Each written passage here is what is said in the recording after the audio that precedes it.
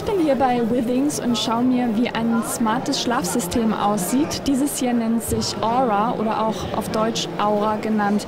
Was kann denn Aura? Also das Aura ähm, ist dafür da, unseren Schlaf zu verbessern. Wir können mit dem Aura unseren Schlaf überwachen und tracken.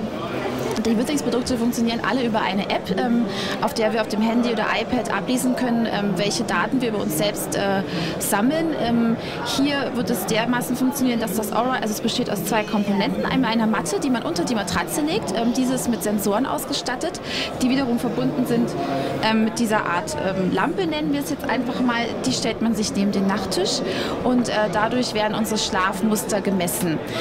das Aura erkennt, ob wir uns in der Tiefschlafphase oder in der Leichtschlafphase befinden und wird uns je nachdem, ähm, wie unser Schlafverlauf ist, durch den Schlaf geleiten.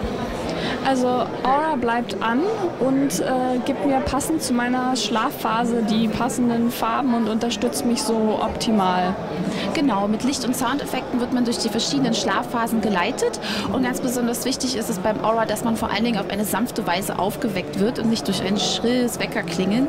Ähm, das Aura erkennt, ähm, wenn ich jetzt zum Beispiel den Wecker auf 8 Uhr stelle, ähm, weiß das Aura, wann ich diese Tiefschlafphase verlassen muss und wird mich mit den Licht- und Soundeffekten ähm, dahin führen, führen, natürlich aufzuwachen.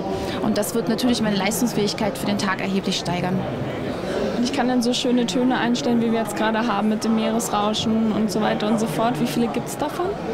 Ähm, die sind individuell wählbar. Wie viel es davon gibt, ähm, das äh, ist noch gar nicht klar, denn Withings entwickelt sich immer weiter und da werden immer wieder neue Features äh, neue rausgebracht und da kann man auf Überraschung gespannt sein. Und Aura ist ja jetzt schon auf dem Markt. Was kostet mich dann dieser Schlafspaß der Smarte? Der Schlafspaß kostet uns ähm, 299 Euro. Ähm, ist eigentlich eine gute Investition äh, in den Schlaf, der ja schon ein wichtiger Aspekt unseres Lebens ist.